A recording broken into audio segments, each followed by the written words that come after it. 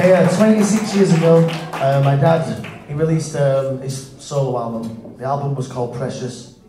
And uh, just on this tour, we've put the, a song in off that album. Uh, the song was called White Dust.